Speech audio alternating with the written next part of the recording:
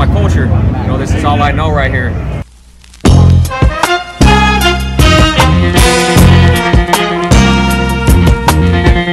Hey, what's up everyone? This is Michael Mendoza, owner of Fishtailz Magazine.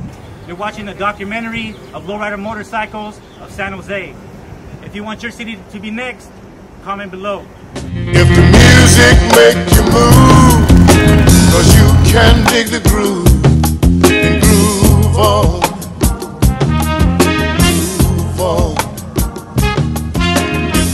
Like you wanna make love under the stars above.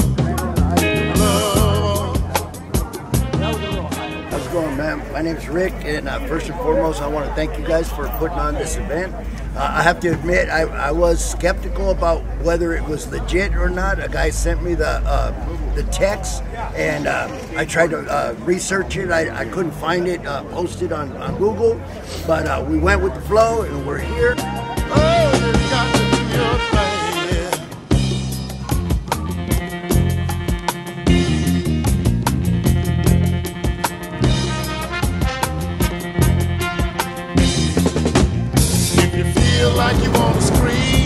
I'm Dino Batista from RWD. I'm a world-class uh, custom painter and engraving. Uh, I live here in uh, San Jose, California, and I've been doing metal engraving and custom painting for about 32 years. Uh, was retired for a while, but came back to the industry uh, with you know people uh, you know with a growing industry right now. So being part of a Fishtail magazine gave me that really nice platform to start from. So that's why I'm here to uh, help support uh, a world-class magazine and hopefully be part of a, a historical, you know, you know, moving forward. So I'm here today to support, and uh, if you guys want to hit me up, uh, you can uh, check out my Instagram at underscore RWD underscore, and I'm here to uh, help whatever we have because I think uh, it's a, a craft that you know we don't want to leave, and, and to me it's an imprint that I could do on motorcycles. But I do cars too, so. But you know, right now it's like I'm getting pretty big right now in a lot of areas. I'm doing a lot of motorcycles from around the world right now, and. Uh, and I'm having fun doing it. With Fishtail Magazine, it's helping me uh, get out there, and I think uh, down the line I'm going to be part of the history of uh, Fishtail Magazine, especially with this uh, with the scene, the lifestyle that, that we're showing here in Jose. Thank you.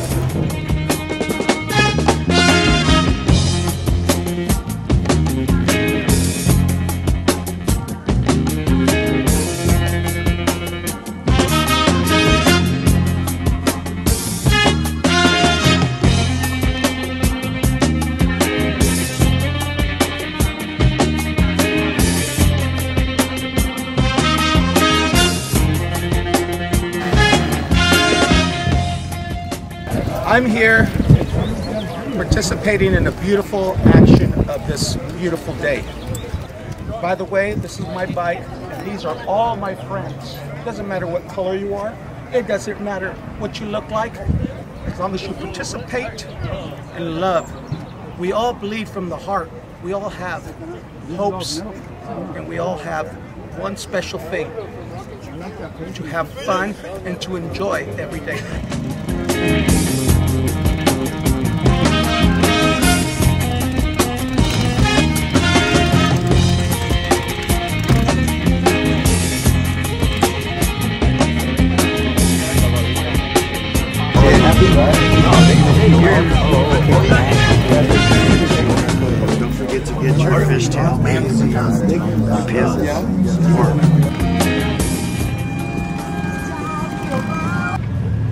First and foremost, my name is George and from Classic Image Motorcycles, and I want to thank Mike for bringing out, bringing everybody out here together. Mike from Fishtailz Magazine.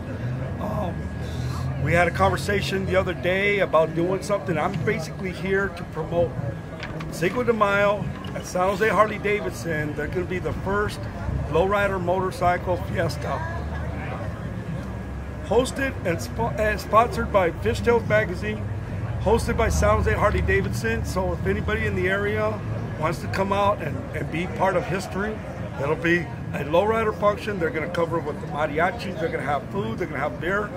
And again, it's San Jose Harley Davidson, May 5th, 2022. It's a Thursday night from 6 to 9, and we couldn't have done this without Mike. And I want to thank you, Mike. Thank you, man. Appreciate it. If you guys can make it out for Cinco de Mayo on Thursday, San Jose, Harley Davidson, we'll be out there having a good time. Thank you, guys.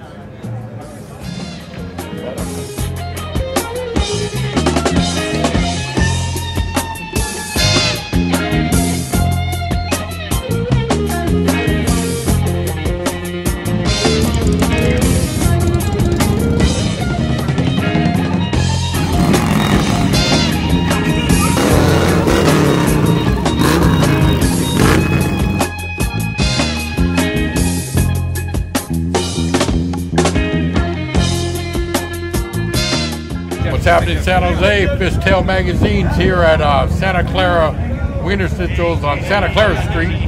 I just want to say thank you guys for coming out. Um, all the support that we are getting from all the brothers out here. We have a few different clubs out here. We got Guilty, we got Chicano Bikers, and we got uh, Chicano Style out here. It's all about un- uh, unity. Everybody have a blessed day.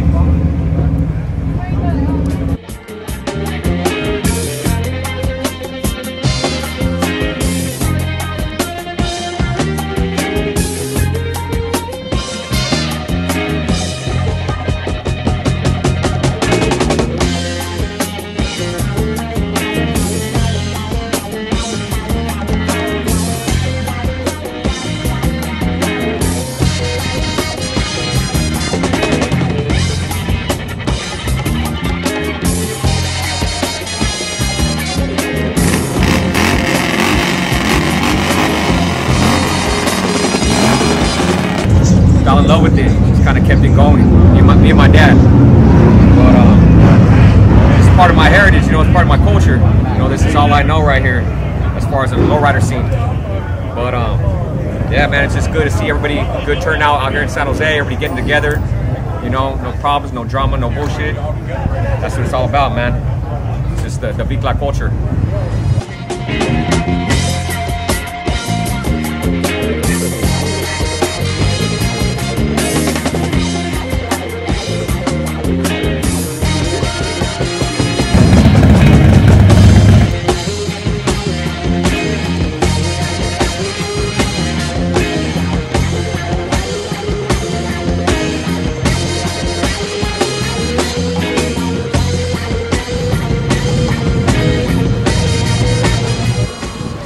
It's your boy Bola, president of GFC class.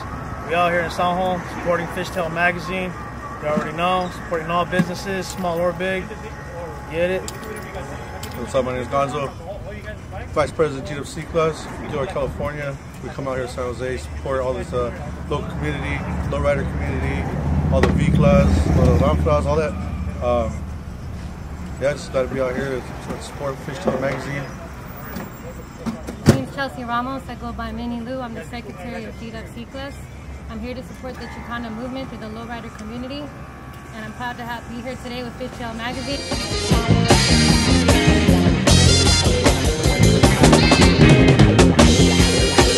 How you guys doing, man? So I kind of wanted to give a, a history on San Juan, how uh, we became about in 2004, breaking down being an independent club, supporting nobody but ourselves. Uh, back when I was growing up, I seen, I give respect to one club that was out there from the 80s, 70s, which was uh, East Side. East Side chapter was, was a Mexican Chicano club that was there, and I looked up to as growing up you know, due to political situations to them, they no longer existed. And um, one percent, one the one percenters came was a one percent scene. Um, that life's not for everybody. So me and two other guys came up with the concept to be independent, to support nobody but ourselves, and to um, to represent Raza, and as far as any culture is example that for that matter. So we came up with Chicano style everything that's a part of this vest, everything that we that we represent happens to be with our with our culture, with our raza, and the same struggles as other cultures. Which is you know the same thing with the with the, with the chinos, with the widows. Everybody has a farmer, everybody has a structure, everybody has a situation that's there, and um, we wanted to do it on bikes. We wanted to do it on bikes. Um, it wasn't a it wasn't an easy struggle. Um, there was a lot of resistance for it back then in 2004, um, but it was worth the struggle. It was worth the struggle because not only that, we weren't the pioneers of it. I'll never say that we were the pioneers of it. We were just one of the ones that tried to put more light on, on razas on bikes. At that time, a lot of people, a lot of our coaches were into uh, lowriders, and uh, and that was main predominantly the culture. You know what I mean? And then um, bikes started coming out more and more, and it just switched over and it started crossbreeding into lowriders into bikes. And basically, we wanted to do it for the for the love of the ride wanted to do it for the love of the ride, you know, around town. Around town and around representing San Jose was a, was, was a good thing. But stepping out of San Jose and going into other cities, going into other things, that there was more raza, more people, more cultures out there to be experienced. Whether they understood us or they or we and try to understand them. We broke out into different uh, cities and different, uh, know, in different states at the same time, trying to put that put it out there. Uh, like I said, it's been a while since uh, you know we've been doing this since 2004, and you know to see where uh, ourselves have evolved as well as other people, whether they roll with the club or not with the club, and coming together one way or another to uh, represent this lifestyle that we live. You know what I mean? Because it's not something that you can just jump into. It's got to be something you're born with, and for us, that's the way it is. And uh, we just always want to try to throw the old school values of respect love, and that's what we stand for: is peace, friendship, family, and brotherhood. That's our motto right there. You know, but like anything that we stand for, anything that's threatened, it always come. You know, you have to defend it, whether you wear a vest or not. It's just family, because that's what you sit with that family is to defend that family, uh, one way or another. You know, you try to show the respect as much as you can, because respect given is you know respect earned, and uh, those old school values are kind of hard to come by nowadays People talk about it, but they don't live it. So we're trying to live it as much as possible. We're not the best ones out there. We're not the best people out there, but we also, you know, try to incorporate all of it there because we all got our faults. We all got our strengths. And we can bring it together and build, and it can be what it's supposed to be. But um, I know a lot of a lot of starting in San Jose. Not, not going to say Chicano started started it all in San Jose, but we were ones that were a part of that.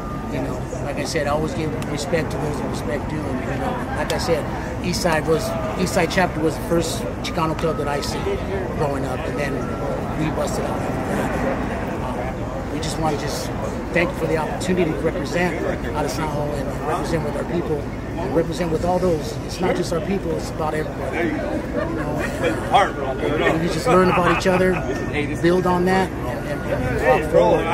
that's what, that's what we're here for. All right, man. I don't want to take uh, your whole day. Uh, you guys are awesome, man. Thank you so much. Thank you for the support. I really appreciate it, man, from the bottom of my heart. And uh, let's keep the unity, man. Uh, you know, I'm gonna try to get some stuff going. I didn't know I was gonna have this much support in San Jose, and uh, so uh, I'm gonna try to get some more things going on so we could uh, unite more and uh, maybe bring in, you know, uh, gente from everywhere else. You know, Hayward, yeah. Sacramento, San Francisco, and uh, you know, let's let's let's do something big, man. So, thank you guys.